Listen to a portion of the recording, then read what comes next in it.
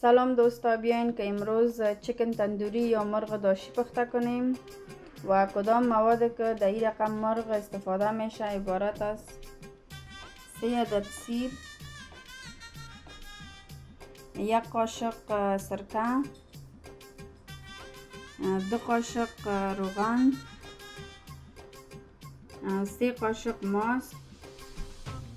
و این هم مسالهش هستن. که یک قاشق چکن تندوری مساله است و سه قاشق چکن تکه مساله شما می‌تونید که این مساله را از دکان های افغانی و پاکستانی یا هندی پیدا کنین نیم قاشق چایخوری مرچ سرخ و نیم قاشق چایخوری زرچوبه و این هم مرغ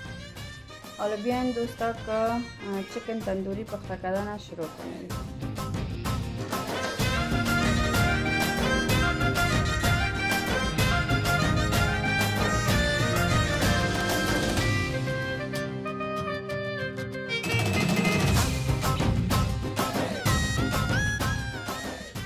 حالا مواد را که آماده کرده بودیم کلش با هم دیگر مکس می‌کنیم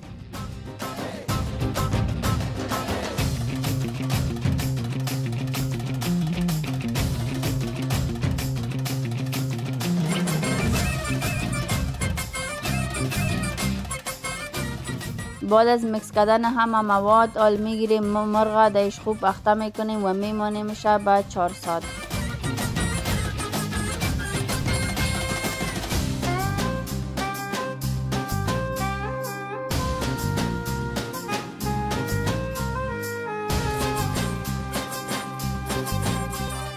خوب دوستان عزیز آل مرغ ما بعد از اخته کردن 4 ساعت در موادش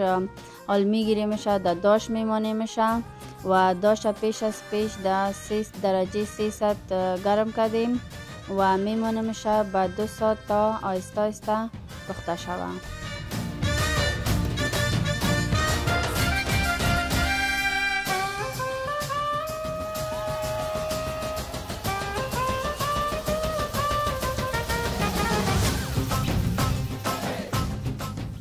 حالا می‌بینیم که مرغ ما تیار شده